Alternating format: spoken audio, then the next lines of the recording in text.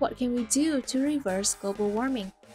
Become aware of the solutions and think about the actions you can take as you listen to how we are drawing down in Pennsylvania.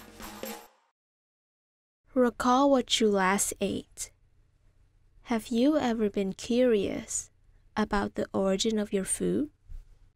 When asked about what contributes to global warming, many people would probably not think that their food, specifically how it is produced and processed, is a major source of greenhouse gas emissions. According to Project Drawdown, if you add to emissions from livestock, all other food related emissions, from farming to deforestation to food waste, what we eat turns out to be one of the greatest causes of global warming. This is Nadia Sheppard, a research intern from the Rodale Institute in Kutztown, Pennsylvania, here to talk about the importance of taking care of soil health, one of the Project Drawdown solutions. Which is really imperative as we go into a more unstable future and a future that has more people as well. Another area of the food sector of Project Drawdown includes food security. Pennsylvania is engaged in efforts to reduce food insecurity and food waste, according to Mrs. Clements-Smith, the executive director of Feeding Pennsylvania. Pennsylvania is a leader in agriculture. We have 57,000 farms in the Commonwealth of Pennsylvania. So to say that food is scarce is crazy. There's a ton of food to be had. It's just working on innovative ways to make sure that we as food banks and the Charitable Food Network are providing as much access to that food. And I think we've really come a long way in that. Feeding Pennsylvania was created to help distribute food to food insecure individuals. Feeding Pennsylvania is the state association of Feeding America food banks. We represent the Feeding America food banks in Pennsylvania that distribute over 160 million pounds of food annually to more than 2 million food insecure individuals.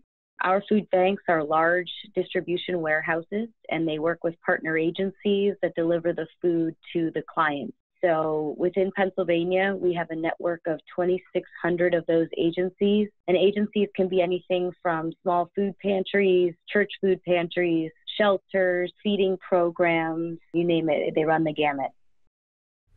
In addition to their food distribution work at the state level, Feeding Pennsylvania also works on advocacy at the federal level.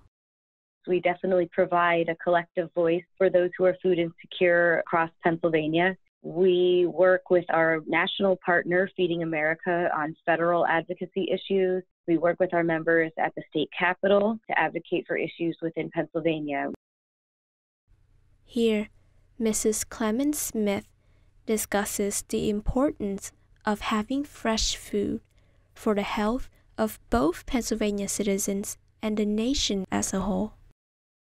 Fresh food is incredibly important to your health. And I think we're finding that chronic diseases like diabetes, obesity, and heart disease are more prevalent amongst people who are food insecure because often fresh food is more expensive. And things like fast food and processed food is less expensive. So when they're trying to maximize their dollars, they're tending to go to that unhealthy food. And it really does come back to their health and the cost of health care. It's a full circle effect when you look at people's diets and the other things that they are challenged with when it comes to their health. So we want to make sure that they have access to all of that. In order to reduce food waste, farms consider the profit gained from a particular item, which takes into account the cost of harvesting and processing. Feeding Pennsylvania encourages farms to donate the surplus by covering some of the cost. So, Feeding Pennsylvania and our member food banks have been long tackling the, the idea of food waste where we can. We often talk about surplus agricultural products that don't have a home. So, produce that maybe is being composted or plowed under that is perfectly edible, but there's a cost involved with getting that product out of the field. Milk that maybe is going to waste because of the milk glut that Pennsylvania has been seeing. So, how do we fit in with that? So, we've done a number of different initiatives. One of them we're most proud of is the Pennsylvania Agricultural Surplus System. So, since 2015, the state of Pennsylvania, through our Department of Agriculture, has funded the Pennsylvania Agricultural Surplus System, which is money that can be used by our food banks to cover the costs associated with harvesting, processing, packaging, and transporting surplus products that can be anything from fruits and vegetables to eggs, dairy, meat, and grains, and then getting that to families in need. So I think for a long time, there was the idea in the Charitable Food Network that agricultural partners should just be donating surplus product. But it's really it's not realistic to expect ag, which is already facing their own business challenges, to do that for free. So basically, in PASS, as we call it, the Penn Ag Surplus System, we're working with farmers to say, donate the product to us, and we can cover the costs for getting it out of the field. So we're talking about the cost associated with picking the extra apples out of the orchard and maybe packaging it into five pound bags to be taken home by families. Feeding Pennsylvania has been active in ensuring that eggs and dairy products are not wasted. We don't want to see fresh milk going into a manure pit. We'd like to use that milk, and so we've been using PASS dollars to process the milk into cheese, which obviously has a longer shelf life, and then getting that out to families who would love access to more fresh cheese. We worked with egg producers there's been times when the production of eggs just continues to grow and maybe the egg market isn't growing with it, but those chickens continue to lay the eggs. So we've worked with egg producers to say, hey, we know that there is a cost to getting those eggs into the dozen egg cartons. So we've worked with those egg producers to pay anywhere from 13 to 90 cents a dozen to put those eggs into those cartons so that they're ready to be taken home by a family. Feeding Pennsylvania works beyond milk and eggs, but also with livestock to save food and fundings. We're working with fairs across Pennsylvania to work with their livestock sales so that if somebody wants to purchase, for example, a hog at a livestock sale, we can use PASS funds to process that meat into family size packaging to get it out to families in need. So, food is available. We don't want to see it go to waste. So we've been working, like I said, with our state legislature on that PASS program. We've been able to save about 10 million pounds of fresh Pennsylvania produced food, and that's gone out to 67 counties, um, and, and that's since 2015. It's a million and a half dollars in the appropriation each year, and our food banks, working with partners in agriculture have been advocating to get an increase in that allocation. So we've gone from a million dollars in 2015 to last year we were able to increase it to a million and a half dollars.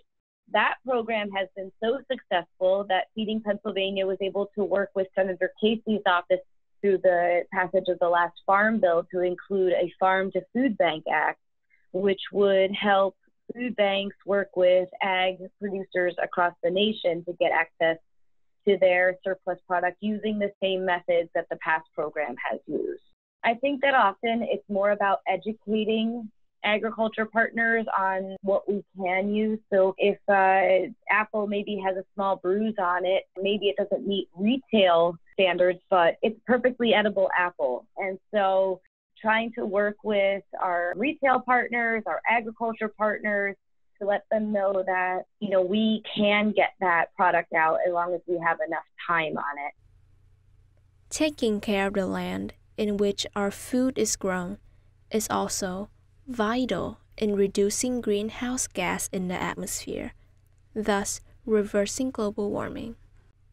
One of the solutions described by Project Drawdown is regenerative agriculture, which is currently being researched at the Rodale Institute, as described by Ms. Sheppard. The Rodale Institute is an organic research institute, and a lot of, for example, our farming systems trial is now 38 years old and has been studying organic versus conventional agriculture side by side and looking at how that affects soil health and how that affects nutrient density in the crops. Here, Ms. Sheppard explains what regenerative agriculture means.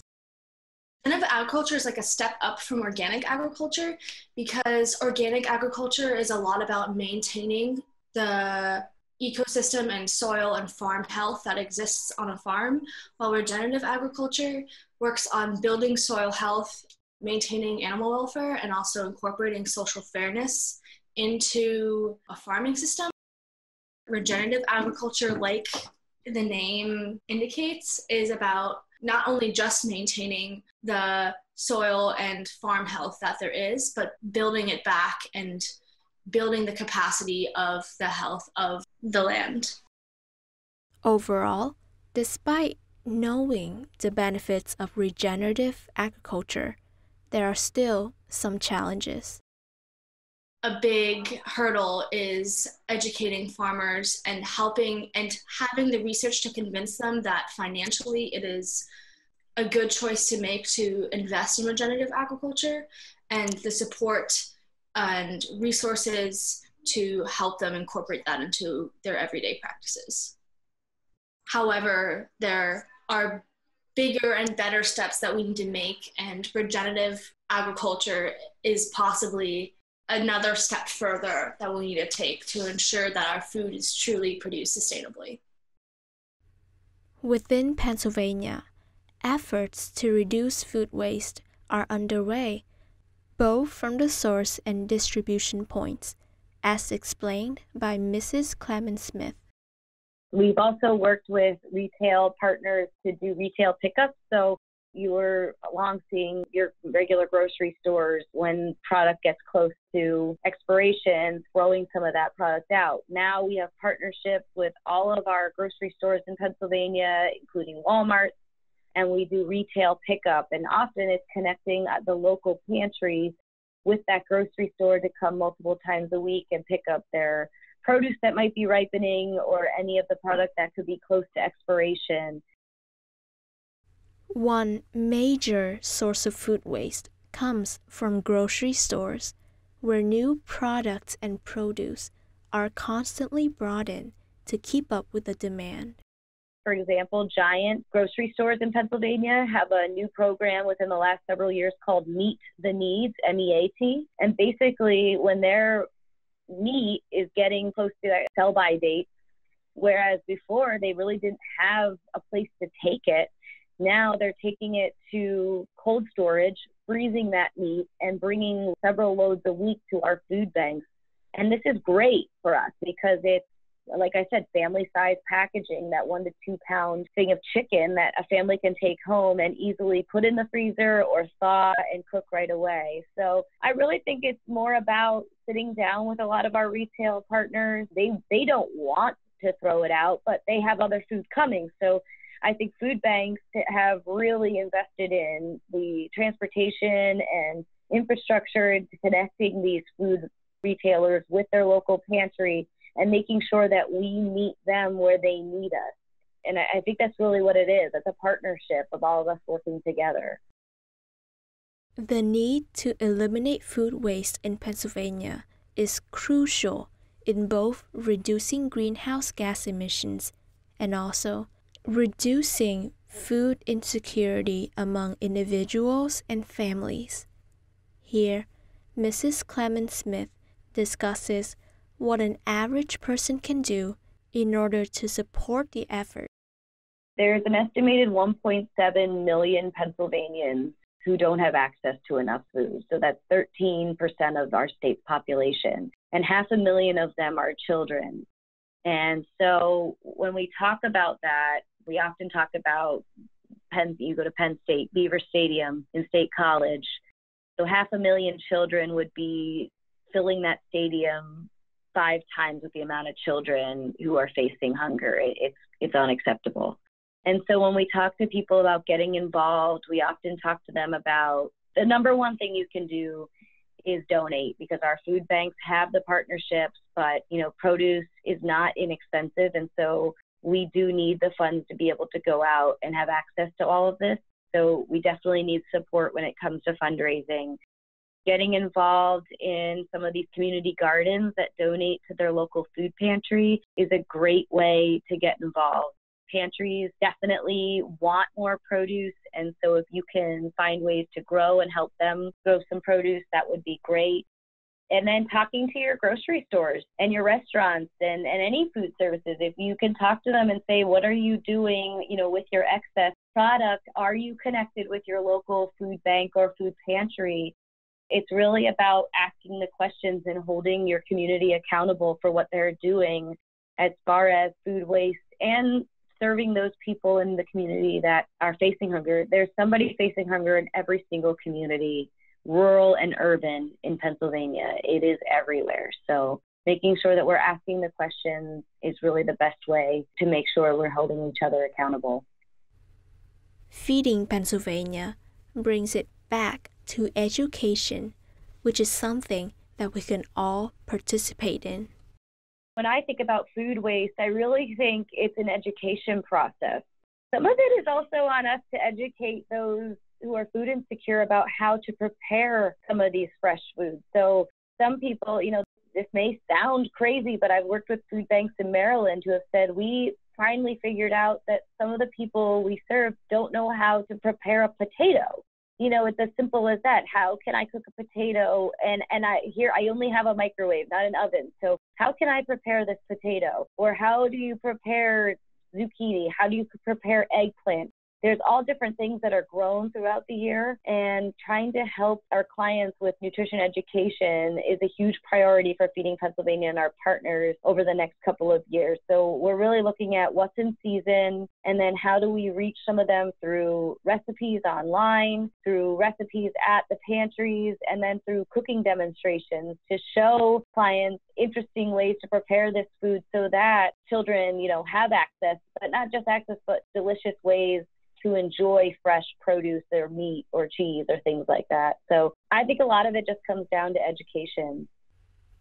It is not just educating those that are food insecure, but also the purchasers and consumers, especially in the food service industry. I think it's really about educating consumers on buying the appropriate amount, educating our restaurants and the folks that are doing any kind of catering to look at food standards and ways that they can reduce food waste. And then if they have excess, making sure they're working with our huge charitable food network to get that excess out to people who need it. Although there are challenges in the food sector, it is clear that Pennsylvania is successful with their efforts to reverse global warming. And there are still more opportunities for greater success with greater involvement from individuals to schools to businesses. Thanks for listening. This is Anna from Penn State Brandywine.